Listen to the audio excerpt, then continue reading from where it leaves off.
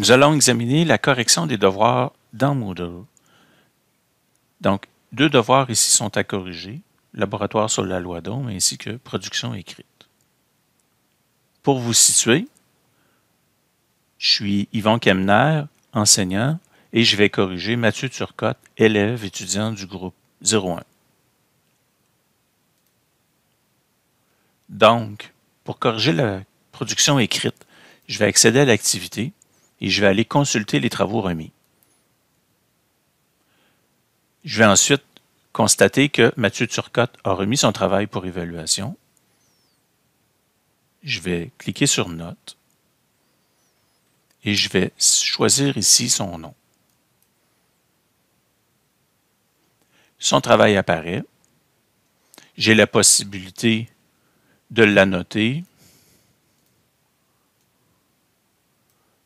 Euh, disons que ça, ce n'est pas l'idéal, euh, de placer ici euh, des indicateurs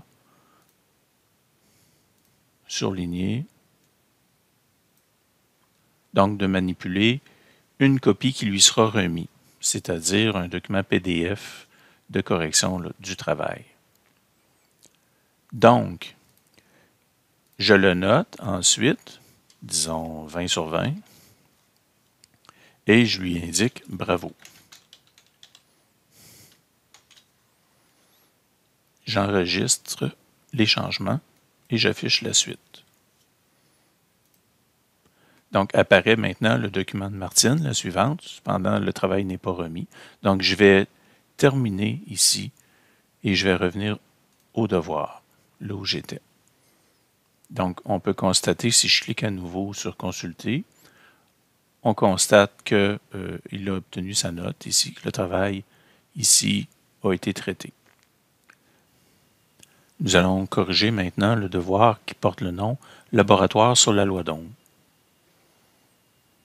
Donc, à nouveau, je vais cliquer sur Consulter tous les travaux remis. Je constate que Mathieu Turcotte a remis sa copie du rapport de laboratoire. Donc, je vais aller sur Notes afin de le corriger.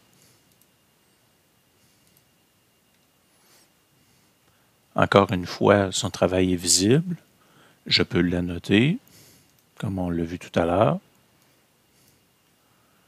Je peux ici maintenant, grâce à la grille, consulter par exemple l'hypothèse, puis dire l'hypothèse est présente mais formulée de façon générale. Donc, le simple fait de cliquer sur l'élément critère attribue euh, les points comme ça ici. Donc, euh, disons 4 points pour ça, 2 points pour ça. Donc, euh, un petit commentaire, euh, travail partiel réalisé ou réalisé partiellement.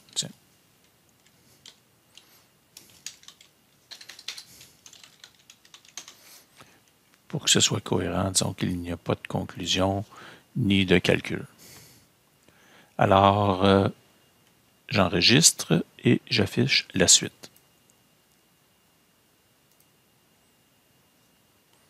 Martine Turcotte ici n'a pas remis son travail.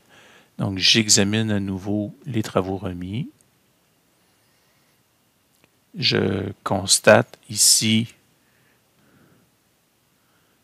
la note, c'est 40% Je peux aller retourner voir le PDF annoté.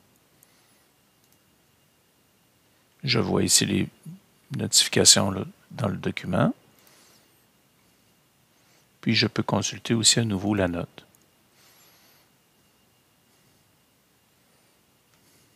En rechargeant ici le document de Mathieu. Donc, on revoit à nouveau ici au moment du chargement les éléments critères choisis. Et je peux ici retourner au cours une fois le travail terminé.